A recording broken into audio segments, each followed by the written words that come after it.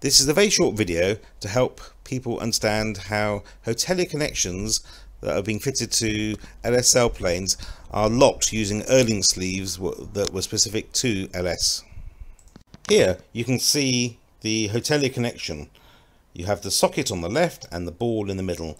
On the right hand side you see a red knurled sleeve that literally unwinds out and when the ball and socket connected. The idea is it goes over the socket, stopping the ball possibly becoming disengaged. The problem with this system, like all systems actually, they're not quite foolproof, is that it's possible to have the ball half engaged and then you wind the red sleeve out, which then wedges it in place.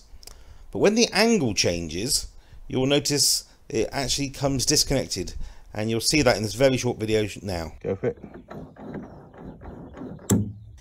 In this picture, you can see the ball and socket are joined together, but not fully, and the ball's sticking out quite a lot.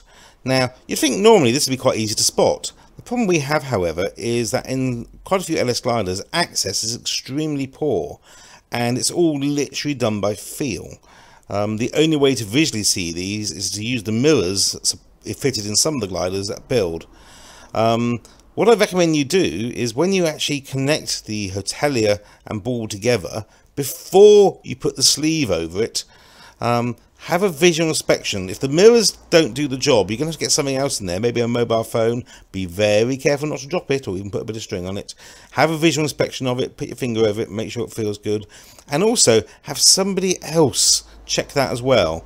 Only once you've actually checked the ball and socket are connected correctly, then put the red sleeve over the ball and socket.